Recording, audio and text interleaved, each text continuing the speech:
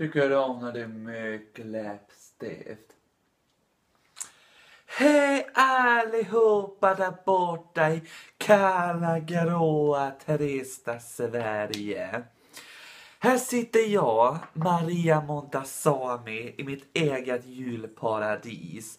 Vi har gran, vi har ljus och vi har sådär jättemysigt som man bara kan ha på julen.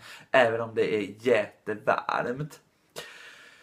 Åh, vad mysigt att få prata med er och få den äran att inviga Christmas Eve, alltså julafton, tillsammans med er. För jag vet att ni firar er egen Christmas idag. Det tycker jag är så fun. Och då kanske man kan undra, vad ska hon prata om? Jag tänkte jag skulle ge lite tips. Till exempel den här granen.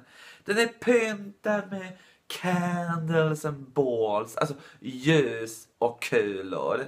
Men då kanske man inte har några kulor. Då kan man ta fram det finaste man har, nämligen en tassel. Och då kan man bara hänga den där tasseln lite fint. Sådär, så piffar det upp hela granen. Den här tasseln, den har Camera gett till mig. Och nu ska jag faktiskt, om ni lyssnar riktigt noga, så ska jag berätta en sak. Om ni vill köpa någonting så kan ni säga till en man, till exempel den här tasseln, så kan ni säga, ja men den här kostar ungefär bara 40 dollar. Och då kostar den ju inte 40 dollar. Men då brukar jag göra så här att då tar jag lite pengar från kortet och så tar jag resten ur matkassan. Det är mitt tips.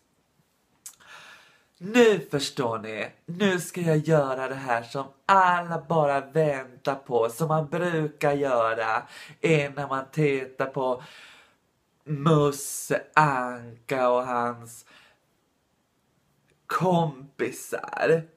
Nu ska vi tända det här ljuset. För det vet jag, det gjorde alltid han. Han som satt så där länge. Jesus. Så nu, mina herrar och damer. Nu är ni med. Så jag är så, är så exa, ex, accelerated över det här. Är ni med?